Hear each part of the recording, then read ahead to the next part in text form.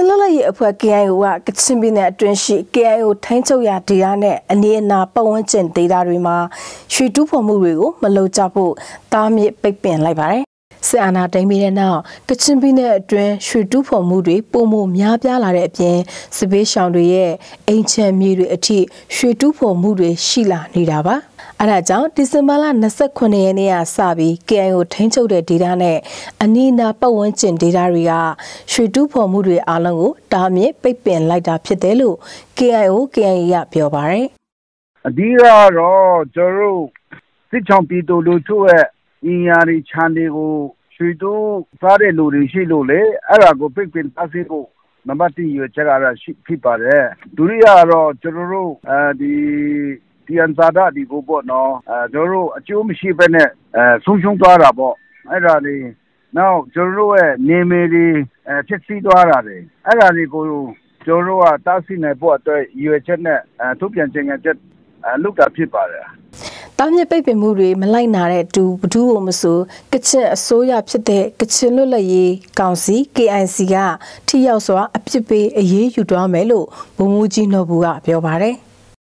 အဲသူတို့တူးဖော်တဲ့အနေအထားတွေပေါ့နော်သူကခြေနေပေါ်မှာမူတည်ပြီးမှသူတို့ဆုံးဖြတ်မှာပါအဲကျွန်တော်တို့ဒီအဲ KC ကပေါ့နော်ကျွန်တော်ဆွေရကနေအမိန့်စာထုတ်တဲ့နေရာမှာတော့တိတိယရောက်အရေးယူပါဆိုပြီးမှပဲကျွန်တော်တို့ကထည့်ထားတာဖြစ်ပါတယ်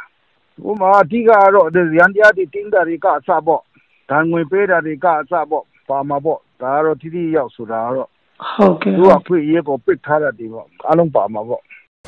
ကချင်ပြည်နယ်မှာစစ်တပ်ကအာဏာသိမ်းပြီးတဲ့နောက်ပိုင်းစစ်ကောင်စီရဲ့ပြည်내အုပ်ချုပ်ရေးအဖွဲ့တာဝန်ရှိသူတွေရဲ့ခွင့်ပြုချက်နဲ့ဒေသအတွင်းက P2 စစ်အဖွဲ့တွေစီးပွားရေးလုပ်ငန်းရှင်တွေကုမ္ပဏီတွေကရွှေတူးဖော်မှုတွေကိုမြစ်ဆုံအပောင်ဝင်အေယာဝတီမြစ်ကြောတချောင်းမှာလောက်ကင်နေကြတယ်လို့ဒေသခံတွေကပြောပါတယ်။ လက်ရှိကချင်ပြည်နယ်မှာစစ်တပ်ကအာဏာသိမ်းပြီးတဲ့နောက်ရွှေတူးဖော်မှုတွေပုံမများပြားလာပြီးတဘာဝပတ်ဝန်းကျင်ထိခိုက်ပျက်စီးမှုတွေလည်းအရင်ကတည်းကပုံများလာတဲ့အတွက်ဒေသခံတွေနဲ့တဘာဝပတ်ဝန်းကျင်အရေးလှုပ်ရှားသူတွေက